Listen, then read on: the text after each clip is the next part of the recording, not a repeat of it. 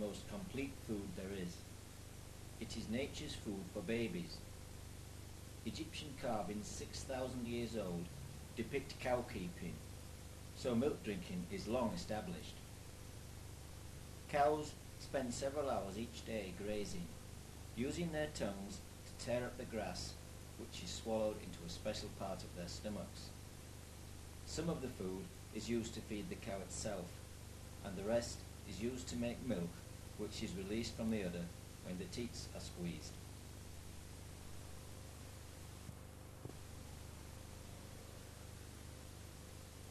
Bishop Burton College of Agriculture is just one of the many local farms which supply raw milk to Thompson's dairies.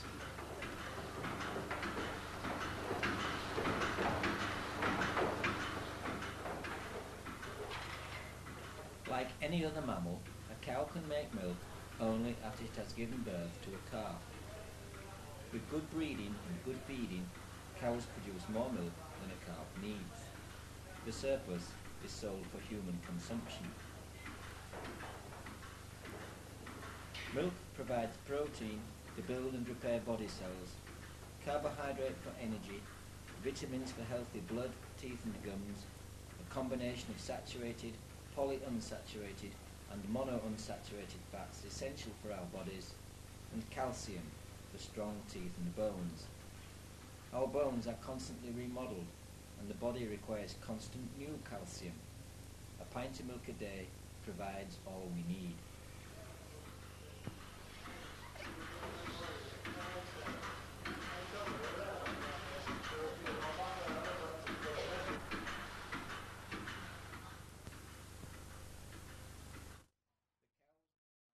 Twice daily and the milk is pumped to a holding tank which cools the milk to less than 5 degrees centigrade.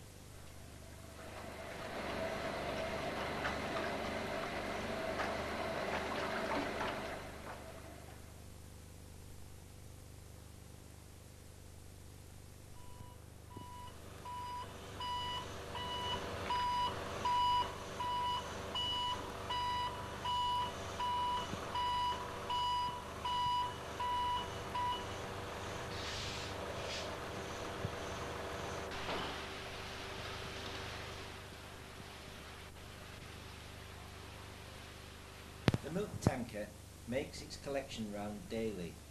The tanker driver takes a sample of the milk before loading.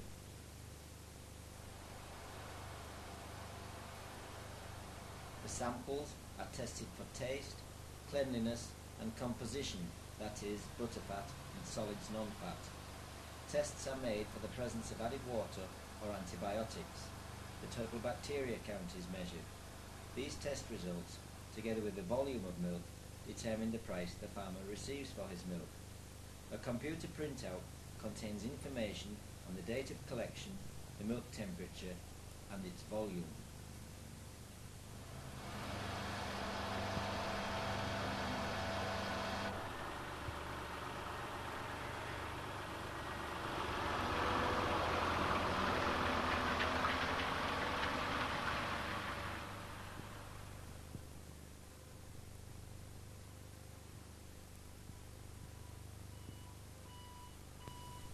After collecting up to 9,000 litres of milk from local farms, the tanker arrives at the dairy for unloading.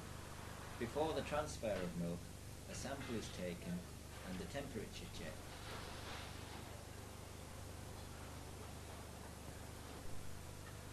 At the end of the tanker driver's day, his road tanker is washed and sterilised by automatic machinery kept at the dairies, and a logbook is kept of this. The milk is pumped to the dairy holding tanks and another computer printout is produced recording the date, volume, temperature and other information. Thus, the account for the dairy can be prepared.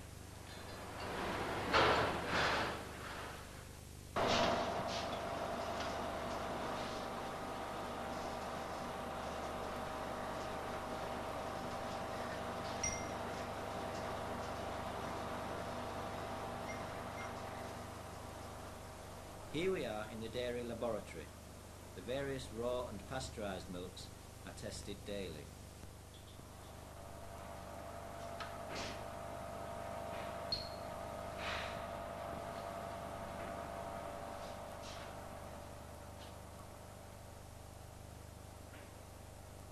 Pasteurised milk is tested for hygiene, presence of added water, presence of antibiotics, butterfat, solids non-fat, proof of pasteurisation, and total bacteria count.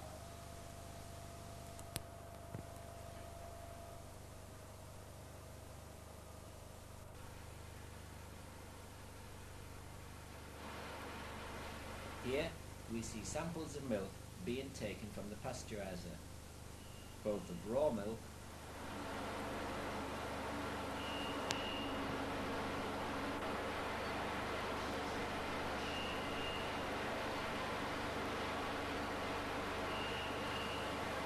and pasteurized milk.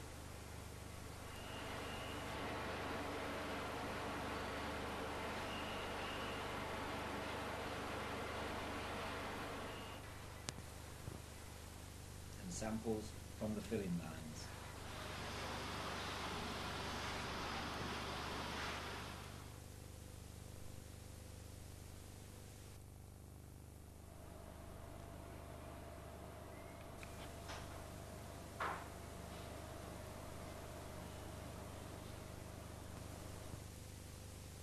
Finished milks are stored for five days at a controlled temperature of 6 degrees centigrade, after which the total bacteria present are measured.